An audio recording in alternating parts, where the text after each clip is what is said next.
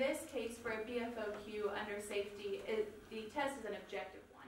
The Baker Cup competition is a great chance to practice your advocacy skills and to compete against other members of Moot Court and to have a chance to show off your skills. Mitch and I are great friends. We have been partners in a couple of different trial competitions. It was fun to compete against him. He's a great oral advocate.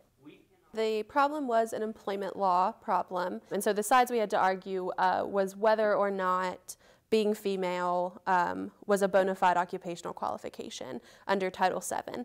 It was a great opportunity to get to interact with practicing attorneys and judges and get to see their opinion and their perspective on how you should approach arguing a case like this. The final round judges were all federal judges who are sitting on the bench currently, um, so having the opportunity to argue in front of those judges was really thrilling. I am interested in doing litigation work. You know, my hope is to work for a defense firm and represent companies and employers. A lot of things in employment law come down to Title VII. So having the chance to learn about that is definitely beneficial. It's always good to have a chance to practice and be prepared for what you would face in the real world. So having that basis in the law is really useful.